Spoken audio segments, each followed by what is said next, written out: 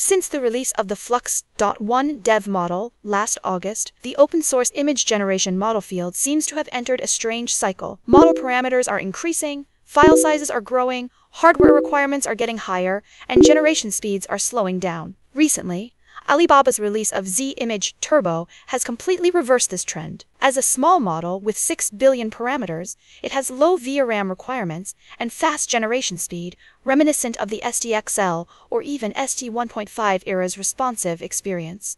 Blazing speed does not compromise image quality. Nicknamed the image crafting model, it excels at portrait generation, especially ultra realistic Asian faces, regardless of whether they are paired with modern or traditional clothing. No messed up hands, it handles various poses with ease. It easily solves scenarios that trouble SD3, like woman lying on the grass. It has also borrowed Qwen Image's skills, with no issues generating text posters or e-commerce product photos. With comprehensive world knowledge, it recognizes many celebrities and landmarks. Just input a name and you get an image. At the same time, it natively supports Chinese input, so you never have to worry about not understanding English again. Compared to Flux 2, I find this model superior in most scenarios, especially suitable for newcomers. Everyone should try it out soon. Z-Image is released by Alibaba's Tongyi-MAI team, and together with the previous Wan series and Qwen Image series, Alibaba feels like the most prominent name in open source AIGC models lately. Comfy UI has bundled a BF16 format diffusion model, 12.3 GHz. You need at least 12 GB of VRAM for smooth performance. T5B and Kijai have also produced FP8 format models. Kijai believes his version is slightly better. If you have a 40 series GPU or newer, use the E4M3FN format, otherwise, choose E5M2 for better compatibility. GGUF format is also a good option. Depending on your VRAM capacity, select the most cost-effective version. Q4 or Q5 runs on entry-level cards with 6 GB VRAM. This release uses Qwen X3 Verse 4b as the text encoder, which is actually a large language model with 4 billion parameters, only one-third less than the main model. It has strong comprehension abilities, so prompt writing is quite different from standard image generation models. We'll cover this in detail in the video. There's also an FP8 version for lower VRAM usage with only minor differences from the original, so small VRAM users can use it with confidence. VAE can be directly reused from Flux VAE, or you can use the officially provided, smaller version, performance is similar. On your local setup, download the model, text encoder, and VAE versions best suited to your VRAM and place them in the corresponding folders. Launch Comfy UI. I am using 590 in this video. The latest Comfy UI stable version is 0.3.75, which already supports all Z-Image Turbo image generation functions. However, this version does not include certain optimizations, such as ControlNet for Z-Image not yet being adapted. You can switch to the latest, nightly version in the manager, click to upgrade, and after updating, restart and refresh your browser. You can directly drag in the workflow I shared, but let's first review the default template provided by Comfy UI. Click the sidebar's workflow template library, the first entry on the homepage is it. Click to load. A typical text-to-image workflow generally includes model loading, setting image resolution, editing prompt, sampling, decoding, and saving the output. This time we're using the official BF16 model and the Qwen3 text encoder. As long as you have at least 12 GB VRAM, there's no need to use quantized models. For VAE, use Flux VAE. For clip type, select Lumina 2. I've introduced this image generation model before. Like Z-Image Turbo, it uses a large language model as text encoder and can accept system instructions to act as different roles, such as painter, photographer, or child, to generate different styles. However, the Qwen3 used by Z-Image Turbo has 4 billion parameters, much stronger than the 2 billion in Gemma 2, so prompts aren't tied to a rigid format and are much more flexible.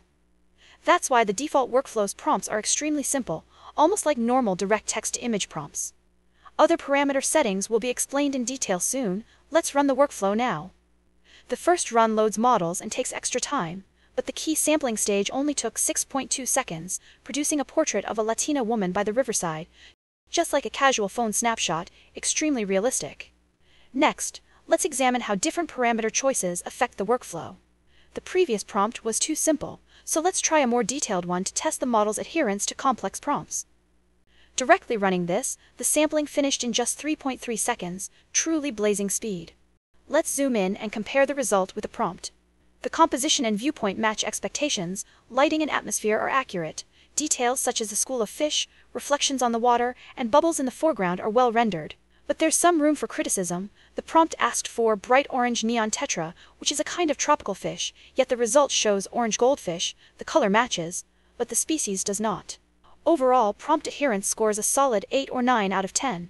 In the latter half of the video we'll discuss prompt writing strategies and demonstrate some use cases where the model excels.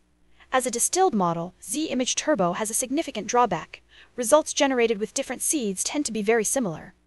Our current workflow uses random seed, let's generate four images consecutively, only took less than 15 seconds, and all finished images are highly similar. So how do you repeatedly draw cards for more variety? A simple solution is to switch the scheduler to DDIM Uniform, but it cannot be used with the Res Multi-Step Sampler, try Euler instead. Using this combination generates four noticeably different images. Z-Image Turbo supports various sampler and scheduler combinations, but only DDIM Uniform offers the mentioned special functionality. The others provide limited differences. I've tested different samplers, the common Euler, the default Res Multi-Step, as well as DPMP2M SDE and gradient estimation. Scheduler options include simple, normal, SGM uniform, and Bong tangent added by a plugin. Although they produce subtle stylistic differences, there's no clear advantage in speed or quality if you're focusing on a specific style, try multiple runs and compare. Sampling steps defy intuition, more isn't always better. Both official documentation and Comfy UI default to 9 steps. 10 or 11 steps may yield a slight quality gain, but increasing steps further often leads to detail collapse and artifacts. Keep shift at the default 3. It works for most scenarios. If output images have noisy effects, you can slightly increase it, which helps repair some noise and local anomalies. There's no strict input resolution limit, but resolutions below 1536 by 1536 are recommended. The official documentation lists a node for generating various common resolutions. This doesn't mean you're restricted to those sizes. If you want to generate a 1920 by 1080, which is 16:9, note that in the latent space node, 1080 isn't divisible by 16, so you'll need to set it to an added 88. The output result is fine. The image is wider than previous square outputs, so the fish tank also appears wider, but the people, fish, and water details remain intact. However, if you try generating something huge like 372 by 3722, you'll exceed the model's capability. In such cases, the main subject will cluster in the upper left corner, while the rest of the image suffers detail collapse, repetition, and artifact seams. The model tolerates unusual aspect ratios to a degree. For instance, here's an extreme 8:1 wide image at 2048 by 2156. The output looks much better than the huge square image, the entire composition appears normal. I suggest keeping CFG at 1. Some non-standard community schemes suggest setting it to 0.5 or 0.7 to improve image clarity or sharpness, or to 1.52 for anime or artistic styles. Personally, I don't think these tweaks are necessary. It's better to wait for the Z image base model release. Curious users can search for more info if they wish. We've covered the basic parameters, so now let's discuss the most crucial part of using the Z-Image Turbo model, positive prompts. To begin with, negative prompts are completely excluded. This model does not use negative prompts at all. The best results are achieved with long and detailed positive prompts, which greatly reduce the risk of blurry images. The official documentation recommends prompt augmentation to go beyond surface level description and deeply leverage world knowledge. In practice, this means using system instructions to query a large language model. Here's the specific instruction. The wording is quite humorous. Despite poetic aspirations, the LLM is compelled to generate concise, literal prompts. Any vagueness or metaphor makes it uncomfortable. Essentially, the key is to be as explicit and detailed as possible when describing the subject, composition, lighting, atmosphere, materials, details, and color tone. If you do this, the resulting images are reliably good. Let's look at the prompt I used in the demonstration. Notice how detailed it is. If we only give the model a short prompt, such as a young lady, the model will fill in the gaps with its own ideas. The resulting image tends to have plain composition, lacks details, has flat lighting, and ordinary depth of field. But writing a good descriptive prompt can be challenging. For this, it's best to use the official system prompt template with a large language model, Qwen is recommended, or leverage the prompt generator in MeNodes. If you want to handwrite prompts, you can use a fill-in-the-blank method, write out basic prompt, details, makeup styling, background, atmosphere, rendering, etc. in separate lines. This approach can yield much more compelling images. Z-Image Turbo natively supports Chinese language prompts. I switched my earlier demo prompt to Chinese, and the final image quality was virtually the same. You can confidently set aside your English dictionary. Because the model is capable of interpreting and following complex prompts, you can experiment with plenty of creative ideas. Let's see how the model performs across different scenarios. The model excels at producing natural portraits. By providing a detailed prompt specifying the subject's pose, perspective, clothing, scene, details, and lighting, you can easily generate natural, everyday images that look convincingly photographic. With different prompts, you'll get diverse character images, all free from any AI look. The model is also highly competent at generating apparel details. Aside from regular clothing, it can accurately reproduce historical costumes and even imaginative outfits from fantasy scenes. Through training, the model has absorbed a vast amount of world knowledge and can recognize many celebrities, providing only a name will generate the corresponding image. It's also adept at landmark architecture. For example, tourist photos taken on the Great Wall look very natural.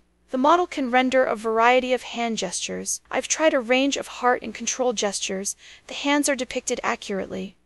Though its text rendering isn't as advanced as Qwen image, it can still handle tasks like adding labels or generating posters without issue. If you specify collage in the prompt, the model can generate multi-panel continuous images. However, stability is moderate. It sometimes takes a few runs to get the desired result. Get creative. You can generate all sorts of imaginative images, such as porcelain textured mecha, yarn-like dragon-headed octopuses, or giant mushrooms functioning as pavilions. Since there is no built-in moderation mechanism, the model can also produce borderline or NSFW content, but we won't cover those here. Some people have asked if it can be used for e-commerce product photography. The model can definitely generate product images, but until the edit model is released, it's difficult to ensure product consistency with image generation alone. I'd recommend waiting for now. There are some shortcomings. For example, getting the model to generate a biting lip action is nearly impossible. It strongly favors professional photography style and doesn't perform as well with anime or artistic styles, and it doesn't understand niche anime characters well. However, for a high-speed distilled model, its capabilities are already impressive. Although Z-Image Turbo can directly output 2K images very quickly, in many scenarios you may still want a more controllable upscaling workflow. The simplest solution is to combine an image upscaling model with low denoising resampling in Comfy UI. Within the basic text-to-image workflow, supply your prompt and run to generate an initial image. Since the output is just 1024 by demoline 24, zooming into the face will reveal some blurring. Let's try upscaling. First add an upscale image using Model Node and load an upscaling model.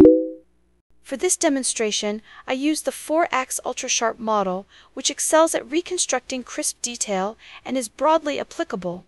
You can choose other models suited to your needs, such as Face Up Sharp for facial upscaling. Connect the generated image to the upscaling node. The fourfold output will be 496 by 4A96. I then use the area algorithm to scale down by half, resulting in a twofold upscaling. This approach can result in images that are somewhat overly sharp. To make the image look more natural, duplicate the sampling node and perform another resampling with low denoising such as 0.2. Finally, add a comparison image node, organize your workflow, and click Run. The results are clear. Facial detail is noticeably increased, with a significant reduction in blurriness. If you don't want to use image upscaling models, you can use latent upscaling instead. Unlike downscaling with the area algorithm, When upscaling, I recommend bicubic with a twofold scale. Latent upscaling requires a denoising value above 0.5. The higher the value, the more changes to the original image. I typically use 0.55 to preserve the original subject while adding details. Comparing the results, latent upscaling is effective but introduces more noticeable changes to the original image. In fact, for Z-Image Turbo outputs, SeedVR2 often delivers more realistic and richly detailed upscaling, but that's a separate workflow and won't be demonstrated here. Another team at Alibaba PAI previously developed the WAN-FUN model series. This time they released a ControlNet model compatible with Z-Image Turbo. It supports various control conditions, lines, depth, pose, and more. Let's test it out. First, ensure you are using ComfyUI version 0.3.77 or above, or the nightly build including the December 3rd update. The ControlNet model is a single 3.1 gigabyte file. Place it in the Models Model Patches folder. In the basic text image workflow, add a model patch loader node and load the model. Then, use the DiffSynth ControlNet node to apply the patch to the main model. Though the node name mentions Qwen image, it works equally well for Z-Image Turbo, just as the empty latent image node's name refers to SD3. Among the ControlNet conditions, I find pose and depth most practical. Here, I'll demonstrate using pose. Upload an image and select the OpenPose preprocessor. Set the resolution to 1024 by 1024. Provide the resulting pose map to ControlNet. The official recommendation is to set the control strength between 0.65 and 0.8, but in testing, I found low strength yields poor control. I usually start at 1 and fine-tune it based on the result. Modify your prompt to specify a different outdoor setting than the reference image. Click Run the generated image follows the pose of the reference image exactly. I've also tested line art and depth conditions. The model works reasonably well, although stability could be improved. Sometimes it doesn't perform as expected. Once the Z-Image base model is released, I'm sure there will be a more robust, updated control net. As a distilled model, Z-Image Turbo is not very strong at inpainting. Let me demonstrate. Load an image of a woman leaning against a railing holding a champagne glass and encode it into a latent image using the VAE node designed for inpainting. Right-click the image to open the mask editor, paint over the top left portion to designate it as the inpainting area, and save. Add cheers to the prompt and run. The new text appears in the edited area. It's missing a letter, but more importantly, the integration with the original image is poor and looks very unnatural. I generated four variants using different random seeds. All had unsatisfactory results. It's better to wait for the edit model for improved inpainting.